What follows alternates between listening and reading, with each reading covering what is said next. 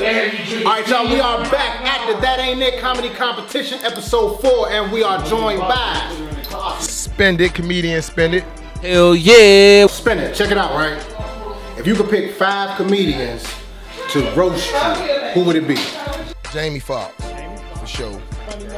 Uh, man, he slick. He don't know what to say out of his mouth. I've seen him on a roast before. Uh, sad to say, local big homie LO, he disrespectful.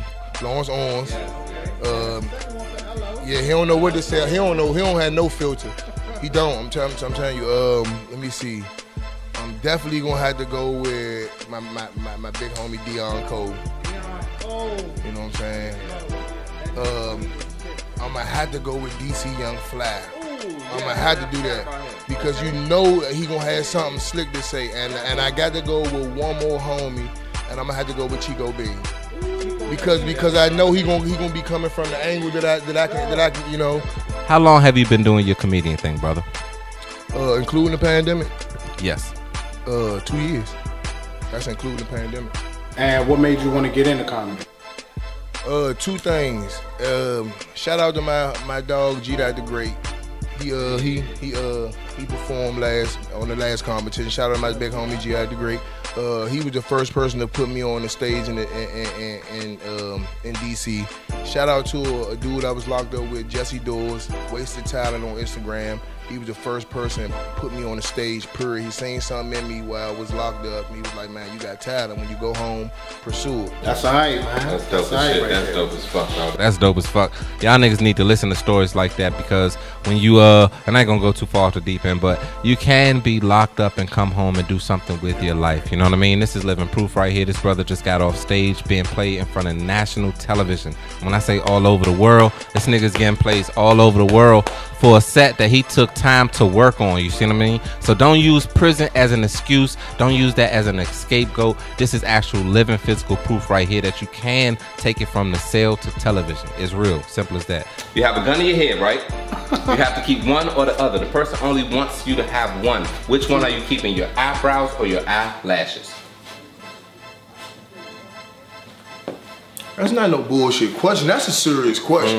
It is, It is at the end but it's day. some serious it bullshit, Uh, man. uh, no, no, no. It's not. It's actually not. I'm definitely keeping my eyebrows, and I'm gonna tell you why. Oh, another one. Yeah, because you can put on dark shades and they never see your eyelashes, but they gonna see your eyebrows. And I didn't even think of that one. You can't see my eyelashes right now. Can you see my eyelashes? No. You would not be paying attention, but you do see what? Yeah, eyebrows. Exactly. Yeah, God, he Keep made it you- he I, I, no, I take that back. My woman never have her eyelashes. Oh shit. what is the number one off limit subject to talk about while on stage? For me, no, for me, I never uh, talk about the, the, the alphabets. I never. I never. Yeah. I never because for one, I don't me personally on stage, I don't want to make any enemies. Right. And you never know who's who or what's what and people are in higher places now. You know what I'm saying? They are, that's smart. Equal. At this point, everybody equal. You know Nah, that's smart. I can So agree. You know it. People of the alphabet gonna be, uh, you know. I don't, I don't mind working with people like that. I That's don't not about that. Opportunity. I don't want to mess up opportunity for myself because they think that I'm prejudiced to.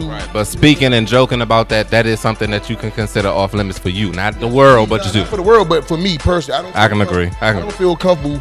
eh, I don't feel comfortable talking crazy about them, and I don't have no problem with them. I like that. I like that. I can agree with that. I definitely, like I said, they create opportunities. I'm I, I like I, don't mind working with. I, I know man, I, I'm comfortable with me. You comfortable with you. You comfortable with you. Long as you know that we working, and you know that's cool. I don't mind. Yeah, Cross, we understand that, but yeah, yeah, I get it. because Won't be nothing. Love and hip hop DMV. I'm there. It's What gonna the fuck you talking about? uh, alphabet on there. Right, a couple. And if I'm on set, guess what? I'm going. I'm going to act like we knew each other since elementary. Simple as that, nigga. Do you want some donuts? Nigga, you can have a bite of mine. Simple as This is the that. closest you'll ever get to my lips. Simple as that. Oh, Bam. man. Enjoy. Enjoy, motherfucker. Enjoy. Uh, but look, on that note, I go by the name of Truth Tella Young Skillz. I'm joined by Troopa. The one holding us down on camera is Big Deuce. And we are joined by the one and only. Spend it.